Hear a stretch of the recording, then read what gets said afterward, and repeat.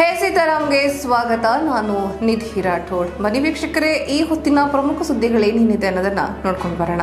ಪ್ರಧಾನಿ ನರೇಂದ್ರ ಮೋದಿ ಅವರ ಬಗ್ಗೆ ಸತೀಶ್ ಜಾರಕಿಹೊಳಿ ಅವರು ಟಾಂಗ್ ಕೊಡೋ ರೀತಿಯಲ್ಲಿ ಮಾತನಾಡಿದ್ದಾರೆ. ಅಂದ್ರೆ ಮೊನ್ನೆ ಏನು ನೆಲಮಂಗಲದಲ್ಲಿ ಗಲಾಟೆ, ಗದ್ದಲಗಳ ನಡೆದವು. ಅದ್ರ ಬಗ್ಗೆ ಮಾತನಾಡಿದಂತಹ ಅವರು, ನಮ್ಮ ರಾಜ್ಯದಲ್ಲಿ ಗಣೇಶನ ಕೂರಿಸೋ ಹಾಗೆ ಇಲ್ವಾ? ಅಂತ ಕೇಳಿದಕ್ಕೆ ನಮ್ಮ ರಾಜ್ಯದಲ್ಲಿ ಒಟ್ಟು ಅರವತ್ತು ಸಾವಿರ ಗಣೇಶನ ಮೂರ್ತಿಗಳನ್ನ ಇಡಲಾಗಿದೆ. ಗಣೇಶನನ್ನ ಪ್ರತಿಷ್ಠಾಪಿಸಲಾಗಿದೆ.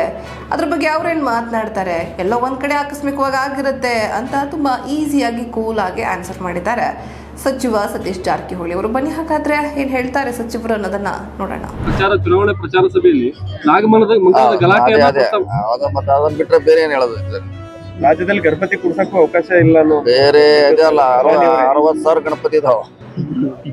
ನಮ್ಮ ರಾಜ್ಯದಲ್ಲಿ ಸುಮಾರು ಅರವತ್ ಸಾವಿರ ಗಣಪತಿಯನ್ನು ಕೂಡಿಸ್ತಾರ ಎಲ್ಲಿ ಒಂದು ಆಕಸ್ಮಿಕ ಆಗಿರ್ಬಹುದು ಪೊಲೀಸ್ ಇರ್ತಾರೆ ನೋಡ್ಕೊತ ನೋಡ್ಕೊತಾರ ಅದಕ್ಕೆ ಅಷ್ಟು ಈಗ ಬೆಳಗಾವಿಯನ್ನ ಇಂಟರ್ನ್ಯಾಷನಲ್ ಬೆಳಗಾವಿ ಇಂಟರ್ನ್ಯಾಷನಲ್ ಏರ್ಪೋರ್ಟ್ ಬಗ್ಗೆ ಪ್ರಸ್ತಾವನೆ ಕಳಿಸ್ತಾ ಇದೀವಿ ಅನ್ನೋದು ಆಲ್ರೆಡಿ ಮಾಡ್ತಾ ಇದಾರೆ. ಈಗಾಗಲೇ ಎಕ್ಸ್ಪರ್ಟ್ ಆದ್ರೆ ಅದು ಇಂಟರ್ನ್ಯಾಷನಲ್ ಅದು. ಇಂಟರ್ನ್ಯಾಷನಲ್ ಸ್ಪೆಷಲ್ ಅನ್ನ ಆಗೋಲ್ರಿ ಅಲ್ಲಿ ಮೂಲಭೂತ ಸೌಕರ್ಯ ಈಗಾಗಲೇ ಆರು ಹೊಸ ಬಿಗ್ ಏರ್ಕ್ರಾಫ್ಟ್ಗೆ ಪ್ರಯೋಜನ ಮಾಡ್ತಿದ್ದಾರೆ ಟರ್ಮಿನಲ್ ಮಾಡ್ತಿದ್ರೆ ಆರು.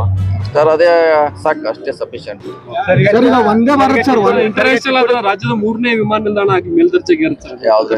ಬೆಳಗಾವಿ ಹಾಗೆ ಆಗಿದೆ ಬೆಳಗಾವಿ ಇರುವಟ್ಟ ಅವಕಾಶ ರಾಜ್ಯದಲ್ಲಿ ಬೇರೆ ಎಲ್ಲ ನ್ಯಾಚುರಲ್ ಆಗಿ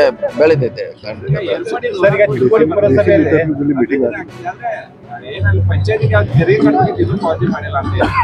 ದ್ವೇಷಕ್ಕೂ ರಾಜಕೀಯಕ್ಕೂ ಸಂಬಂಧವೇ ಇಲ್ಲ ಅಂತ ಮಾಜಿ ಸಂಸದ ಡಿ ಕೆ ಸುರೇಶ್ ರವರು ಹೇಳಿದ್ದಾರೆ. ಮುನಿರತ್ನ ಅವರ ಆಡಿಯೋ ರಿಲೀಸ್ ನಂತರ ಒಂದು ಸುದ್ದಿಗೋಷ್ಠಿಯನ್ನ ನಡೆಸಿ ಮಾತನಾಡ್ತಾರೆ. ಈ ಸಂದರ್ಭದಲ್ಲಿ ಮಾಧ್ಯಮದವರು ಇದೇನು ದ್ವೇಷದ ರಾಜಕಾರಣನ ಅಂತ ಕೇಳಿದಕ್ಕೆ ಈ ತರಹದ ಉತ್ತರವನ್ನ ಕೊಡ್ತಾರೆ. ಮಾಜಿ ಸಂಸದರು. ದ್ವೇಷ ಬೇರೆ ರಾಜಕೀಯ ಬೇರೆ. ಅವೆರಡನ್ನು ಮಿಕ್ಸ್ ಆಗಲ್ಲ ಅದೇ ಬೇರೆ ಇದೇ ಬೇರೆ ಅಂತ ಸ್ಪಷ್ಟನೆಯನ್ನು ಕೊಟ್ಟಿದ್ದಾರೆ. ಬನ್ನಿ ಏನು ಮಾತಾಡಿದ್ದಾರೆ ಡಿ ಕೆ ಸುರೇಶ್ ರವರು ನೋಡೋಣ. ಇದು ದ್ವೇಷದ ರಾಜಕಾರಣ ಅನ್ನೋ ಅರ್ಥದಲ್ಲಿ ದ್ವೇಷಕ್ಕೂ ರಾಜಕಾರಣಕ್ಕೂ ಸಂಬಂಧನೇ ಇಲ್ಲ.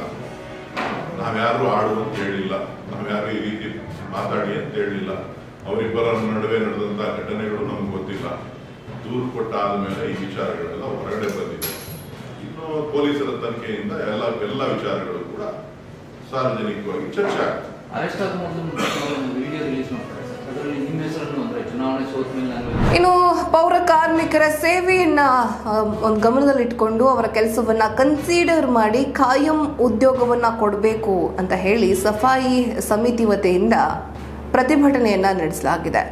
ಈ ಪೌರಸಭೆಯಲ್ಲಿ, ಪುರಸಭೆಯಲ್ಲಿ ಅಥವಾ ಈ ನಗರಸಭೆಗಳಲ್ಲಿ ಪಾಲಿಕೆಗಳಲ್ಲಿ ಕೆಲಸ ಮಾಡ್ತಾ ಇರ್ತಾರೆ ಪೌರ ಕಾರ್ಮಿಕರು. ಸೊ ಅಂಥವ್ರ ಕೆಲಸವನ್ನ ಪರ್ಮನೆಂಟ್ಗೊಳಿಸಿ ಅಂತ ಹೇಳಿ ಪ್ರತಿಭಟನೆಯನ್ನು ನಡೆಸ್ತಾ ಇದ್ದಾರೆ. ಬನ್ನಿ ನೋಡೋಣ ಅವ್ರ ಡಿಮ್ಯಾಂಡ್ಸ್ ಏನೇನಿದೆ ಕೇಳೋಣ.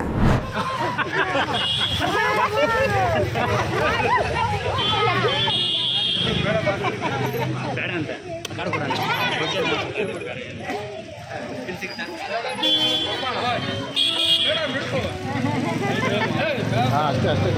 ಹಾಂ ಅಷ್ಟೇ.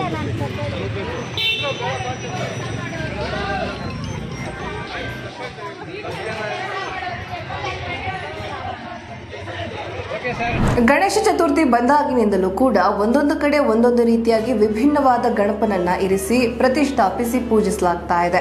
ಅದೇ ತರಹದ ಇಲ್ಲೊಂದು ಕೂಡ ಗಣಪತಿಯನ್ನ ಕೂರಿಸಲಾಗಿದೆ. ಇಲ್ಲೂ ಕೂಡ ತುಂಬಾ ಶ್ರದ್ಧಾ ಭಕ್ತಿಯಿಂದ ಪೂಜೆಯನ್ನ ನೆರವೇರಿಸಲಾಗ್ತಾ ಇದೆ. ಇಲ್ಲಿ ವಿಶೇಷವಾಗಿ ಒಂದಷ್ಟು ಜನ ಸೇರಿಕೊಂಡು ಗಣಪತಿಯನ್ನ ಕೂರಿಸಿ ಪೂಜೆಯನ್ನ ಮಾಡ್ತಾ ಇದ್ದಾರೆ. ಇವತ್ತು ವಿಸರ್ಜನೆ ಕೂಡ ನಡೀತಾ ಇದೆ. ಬನ್ನಿ, ಹಾಗಾದ್ರೆ ಯಾವ ಗಣಪತಿ ಅದು ಎಲ್ಲಿ ಕೂರಿಸಿದ್ದಾರೆ, ಯಾರು ಕೂರಿಸಿದ್ದಾರೆ ನೋಡೋಣ.